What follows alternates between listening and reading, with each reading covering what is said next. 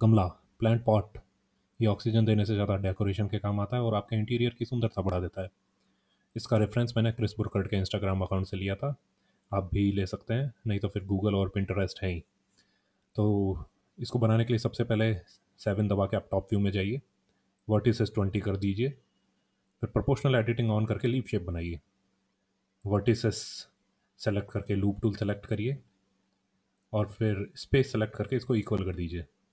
Edit mode में जाके right click दबाइए और ग्रिड फिल यूज़ करके स्पेन और ऑफसेट सेट करने की कोशिश कीजिए। मेरे केस में ये फोर एट होता है, कभी कभी सिक्स सेवन होता है। आप देखिए आपके में क्या फिट बैठेगा। फिर बीच वाली एज को सेलेक्ट करके offset edge loop select करिए और इससे बीच का ताना बनाने की कोशिश की है इस टाइम बीच के तीन वर्टिसेस को सेलेक्ट करिए। ई एक्सट्रूड करिए एज दबाइए एक्सट्रूड करिए एज दबाइए। फ्रंट व्यू में जाके प्रोपोर्शनल एडिटिंग यूज़ करके पत्ती को मोड़ दो। मिडिल वर्टिसेस सेलेक्ट करके करवी शेप दो इसको। नेक्स्ट आप सॉलिडिफाई और सब सरफेस डिवीज़न लगा के आप इसकी सरफेस स्मूथ कर लीजिए। राइट क्लिक लगा के फिर वापस से शेड स्मूथ मार लीजिए। इसके बाद एडिट मोड में जाकर वन दबाकर फ्रंट व्यू में आइए और फिर सारी वर्टिसेस ए दबाकर सेलेक्ट कर लीजिए। इसके बाद जी दबाकर इसे ओरिजिन पॉइंट पर मैच करने की कोशिश कीजिए। ध्यान रखिए एडिट मोड में करना है आपको। ऑब्जेक्ट मोड में नहीं। यहाँ पे आपका प्रोजेक्ट सेव कर लीजिए।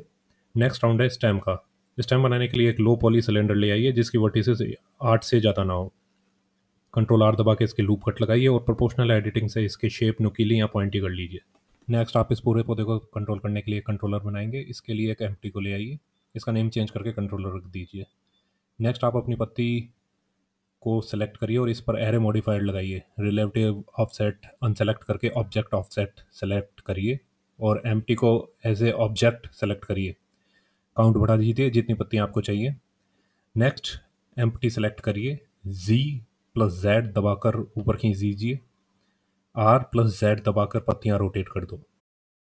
आपका पौधा तैयार है बट रियल लाइफ में पौधे का तना कभी भी इतना स्ट्रेट नहीं होता। इसको स्ट्रेट करने के लिए बेजेरो कर्व लाइए। साइज़ स्केल करिए। आर माइनस नाइन्टी करिए जी जेड दबा के इसको सेंटर में लाइए। ऑप्शन मोड में स्टेम सेलेक्ट करके कर मॉडिफाइड लगाइए और ऑब्जेक्ट को बेजियर कर पर सेलेक्ट करिए। सेलेक्ट करते ही आपका स्टेम नीचे गिर जाएगा। ये देख के आप बिल्कुल भी घबराइए नहीं और डिफॉर्मेशन एक्सेस चेंज करके जेड कर दीजिए। सेम प्रोसेस आप लीव्स के लिए भी अपनाइए। नेक्स्ट राउंड है पॉट का। पॉट बनाने के लिए शिफ्ट प्लस ए दबाकर सिलेंडर ले आइए। इसके ऊपर नीचे के दोनों फेसेस सेलेक्ट करके इनको बिना किसी दया के उड़ा दीजिए। इसका सरफेस सॉलिडिफाई से सॉलिड कर दीजिए। शेप स्मूथ करने के लिए सब सरफेस लगा के इसको सुंदर कर दीजिए।